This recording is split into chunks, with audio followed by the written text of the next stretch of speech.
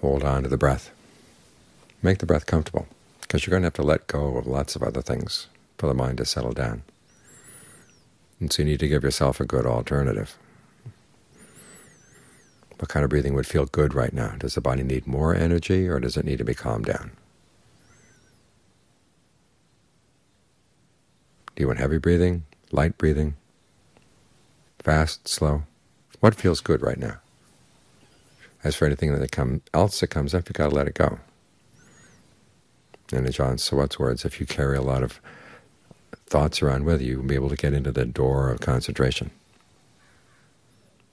It's like a person carrying lots and lots of bundles. If you've got, it's a very narrow door and you've got lots of bundles in your arm, you can't get in because of the bundles. So you've got to put the bundles down. Then you can slip through. It's the same with this. For the mind to settle down and be at ease, it's got to have only one preoccupation. It's got to see the value of letting go of those other preoccupations. Sometimes you have to actually think your way into concentration by cutting away at different attachments. But if you've got something really good right here, that makes it a lot easier. And sometimes you don't have to do all that much active cutting. Just give the mind a good place to stay, and it goes. If it doesn't go immediately, okay, then you've got to stop and think about why am I attached to these things? What value do they have? Learn how to point out to yourself the fact that you don't really need these things and they're not really good for you. They're burdens weighing you down.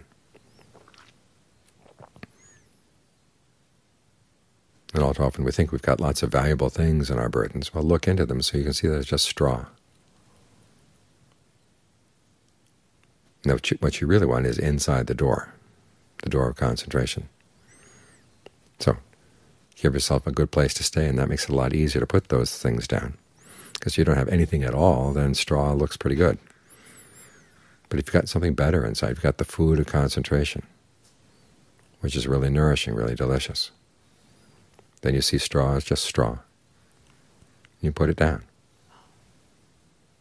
So do your best to work with the breath and let the breath be really, really comfortable keep alert as you do this, because the one drawback of a really comfortable breath is that you start to drift off. So be very alert. Try to keep your awareness filling the whole body. That way you can enter the door of concentration, because it's just your body not carrying all these other loads around.